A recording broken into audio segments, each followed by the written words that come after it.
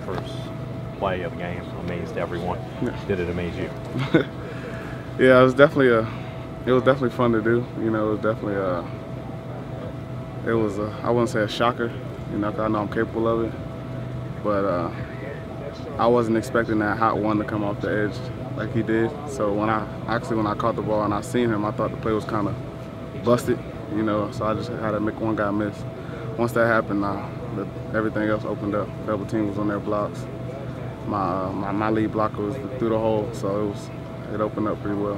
What do you think that showed folks, uh, your teammates, coaches, and the fans, of what you can bring to this uh, uh, squad in that capacity? Uh, I would say that I mean I can I can change the game. You know, as far as I can I can flip the field. You know, and and uh, like if we need a big play on special teams, you know, I can make it happen. I had to earn their trust. You know, as far as last year, and uh, they I mean now everyone sees that that I can make it happen.